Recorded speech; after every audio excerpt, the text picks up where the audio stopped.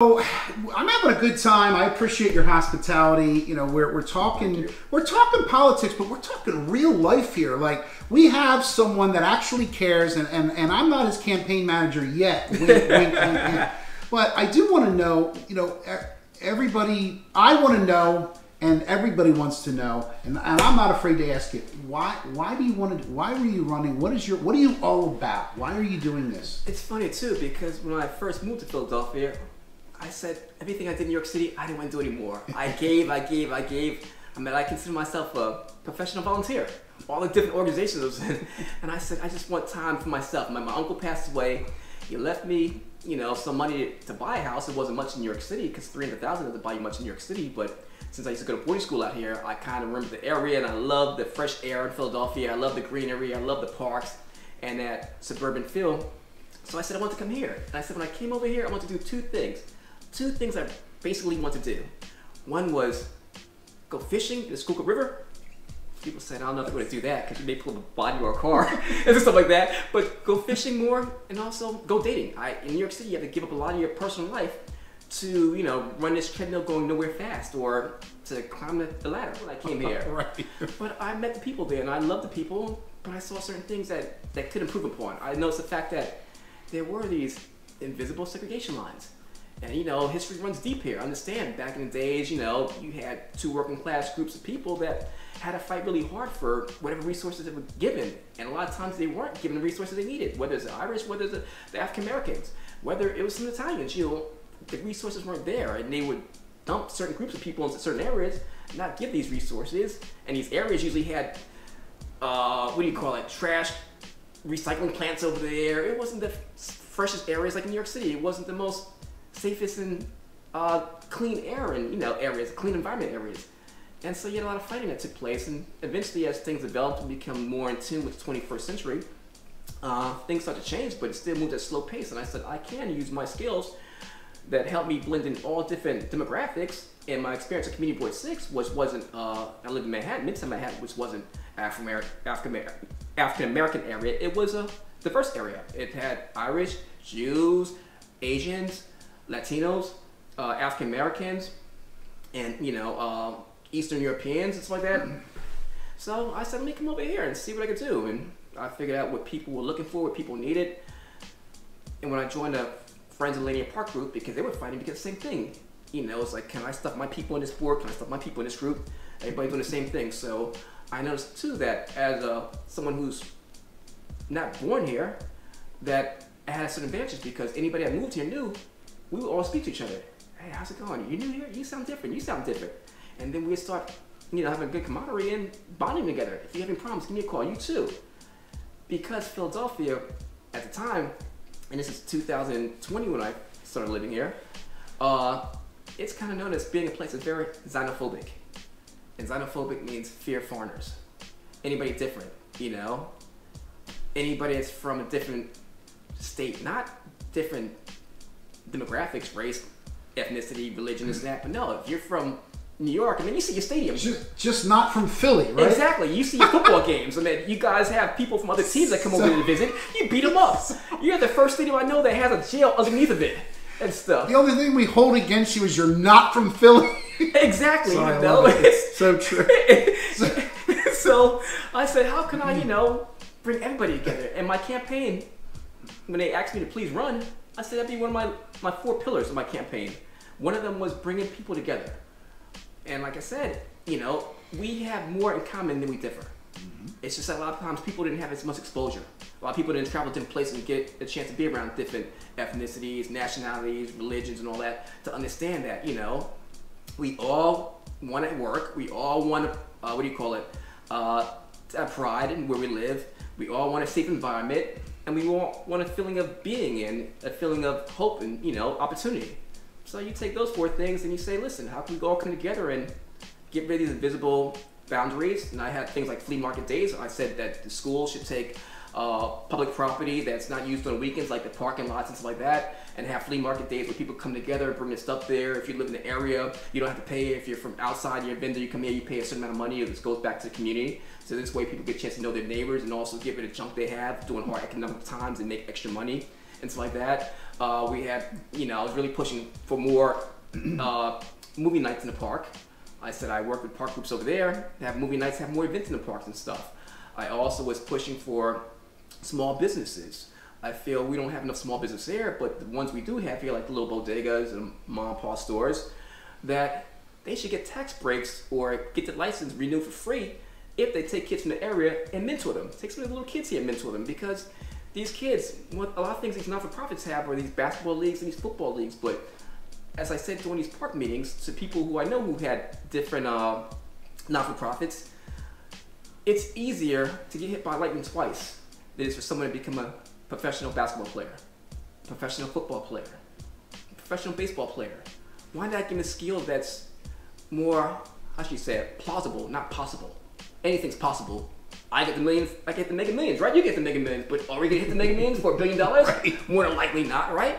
But Maybe. we have, yeah, okay, possible, but not plausible. Possible. But the thing is, my thing was, uh, it's possible and more attainable to be a small business owner. And I said it'd be great to have some of these kids who fathers a lot of times aren't around, or if they were around, they all did the same work. You know, whether it's during hard times, they were some of them had bad experiences. Parents probably sell drugs in a bad time, or got involved in vices and all that, and they pass it on to their children. And I'm like, no, you know, they need a fresh perspective. They need someone who could show them differently. I was telling uh, Tyreek from uh, Young Chances over there. He runs a great not-for-profit, and when he was on the board, I was trying to tell him too. Listen, your brand, expand your brand. You know, get out of the mold of just I want to have a basketball league. This and that. Teach them chess. Have chess tournaments. Teach them um, career days where they interact with the police and they ride around the police. I mean, you know, I had a good Irish friend over there that used to take kids and put them in the tow trucks. Black kids too. And like, hey, come in tow trucks. See how you could be a tow truck driver and make money doing this. You know, different things where you can have a chance of supporting yourself and have a head start at a younger age rather than get caught up in the streets. And I felt like, you know, supporting small businesses, having, we needed more small businesses here. I actually put in my platform, I thought we should have, you know, change variances in zoning for any street that goes through South Philly that has major bus lines. Like, for instance, on 30th Street and 29th Street, I think you had the 47 bus or 40, 42 bus or 49 Yeah. bus, one of those. I said you should have zoning for those streets right there to, you know, encourage more businesses to come here and to give residents here who have to walk so far to go to laundromats because we don't have any right here. We just have one here. Or we have to go far to get a cleaners because cleaners you have to go to Point Breeze or you have to go to uh, Oregon Avenue and stuff like that. Or we have to go far to a shoe place. We have to go, what is that? Uh, south of uh, Broad Street. That's like, you know, to have one store every five or ten blocks here, it's not really good. You know, we need more stores, but if you change the zoning for those streets that actually bring traffic through, you can put a revenue stream there that can support itself and also businesses bring people together. and then allowing a variance there is the simplest version of that. So um, I want to ask, and like, how could we, whoever's maybe watching or any interested, of course monetarily, but like, how can we help besides sending money? Although we'll definitely take your money, but uh, like, how can we help? How can we support you? How can we get involved? How can we support the, the cause? What, what would be, you know, maybe talk a little bit about that. Okay, well, I'm not running for office this year. I mean, I had a good run last year, made the ballot, got signatures I needed. Of course, he's a former city judge turned councilman, I former city councilman turned judge. To cash in favors, knocked me at the ballot, which is why I did my Buck the System, Buck the Vote campaign, where after I got knocked at the ballot in um, April, and licked my wounds and went into hiding because I was embarrassed. I was, I was pressed. I was whatever. But came election day uh, in November, I had a vision. God said, Aaron, reach out to your constituents. Let them know what happened. Don't let this go unavenged. Let people know that we have dirty politics here it needs to be addressed. So I have a little protest. So I thought about it, spoke to some community organ- organizers, said, listen, can you give me some people to help out to pass flyers? I want to talk about my experience, let them know what's happening, tell people that instead of not showing to polls election days, which most of them didn't feel like doing, I mean, you only had 33% show up. 33% that showed up to this poll sites and stuff last election day. I said, take your frustration, go there, and put my name in a ballot. Vote for me. Make me a write-in candidate, and let them know that we will not have dirty elections. We will not have unfair politics. You know, we want more clean politics in Philadelphia. We want more term limits for city council in Philadelphia. We want more. Uh, we want the the signatures needed from 750 to be 450, like they do in New York and bigger cities. You know, because it's kind of hard to get around here, especially wintertime when the day hours are so short and you try knocking at someone's door at 6 o'clock at night when the sun's down. You know, they may greet you with something that you don't want to be greeted with. I'm going to put a link to this. We're going to put we'll put a link to this below the video. Please like, subscribe, bell notification, hit us up. But I'm going to put a link to But you this uh, can, PDF. you can, like I said, just check out some of the, we have some good organizations here. We have uh, Young Chances that take kids and try to take some of the things I put in my platform and expand their, you know, uh, horizons and show them different things. Resident Act Committee, they have a good uh, basketball league that they do in Salvation Army across the street, and they also do a football league in the park over there. You also have uh, uh, my friend Mr. Chill over there from Laney, uh, Stinger, Stringer Park. He does like a summer camp over there. So, you know, bring your kids over there, and Salvation Army has a summer camp as well. Just come around here, explore. You know, we have every Wednesdays during the summertime from I think 7 o'clock or no, 6 o'clock to 8 o'clock, uh, seniors line dancing in the park over there. And it brings people together, it brings vendors together. We got vendors from outside that come there. And the community comes together with some good music, and the seniors get a chance to do their line dancing and stuff, stay in shape, and you know, still feel as a part of the community. Young people there, families there, people from outside there. Got a good little tourist area. Come there during summertime as well, and bring money over here, support the local businesses and the community there from vendors that you know have uh, do like cooking and stuff like that, and sell plates of food. No, we got a lot of talented people here. We have a lot of people here that just would like to be a bigger part of Philadelphia than just South Philly. That's great. I, um, I I can't say how much fun I had. I appreciate your time very much. You gave us a tour of your home. You talked to us. You you live in our city. We we're we're neighbors essentially. I mean, we're, we're I feel like we're friends, and we're definitely uh, um, we have a professional relationship as well. Uh, if you want to support in any way, hit us up. You can call, email, text us anytime. We'll have the link to uh, to Aaron's uh, the PDF here. We'll put his uh, we'll put his uh, email address there too. Um, we want you to, to know that we're here to help support you in any way. If you have a question or maybe you have a comment, I'm sure we're going to get some comments. I can't wait to see some comments about this, but it'll be cool. And one last thing too, Yeah, you please. also have a coffee shop that opened up a few years back. You know, a nice trendy coffee shop called Grays Ferry Coffee Shop. And when I saw that open up, I felt like, you know, I'm in Brooklyn, New York, where the artists come together and a hipster type of coffee shop that has the the, the you know how she said the fancy types of coffees like Vietnamese coffee and you know Chilean owner, he's from Chile. His name is uh, good guy and stuff. And summertime they put chairs in the outside, so you have that unenclosed sidewalk cafe type of thing.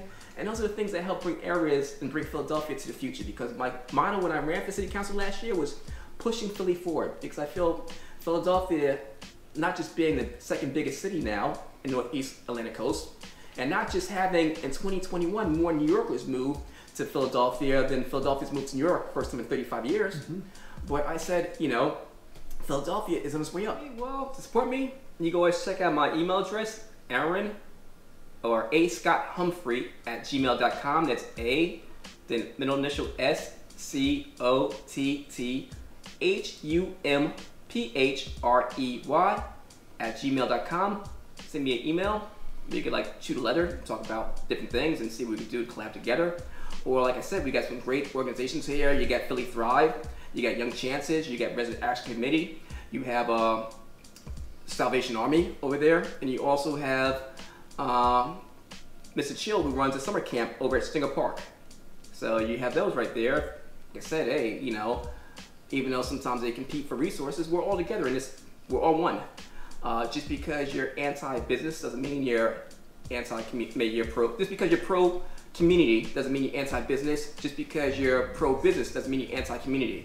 So we got different people of different social hierarchies and different economical scales. But like I said, we're all neighbors and we're all trying to blend together. You got new people that moved to such as myself. You got people that's been here for a long time, but we're pushing forward. We're That's pushing great. forward. Well, I want to thank you so much for allowing us the honor to yeah, talk with you and answer our questions and show us your home and talk about the community. Uh, I mean, we couldn't have said it better ourselves, and I just want to thank you very much.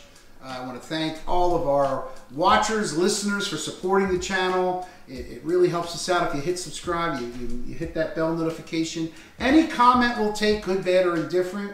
Uh, but I want you to have a great day, everybody. Thanks a lot. And thank you for having me here. Pleasure being Thank here. you, sir. Gregory.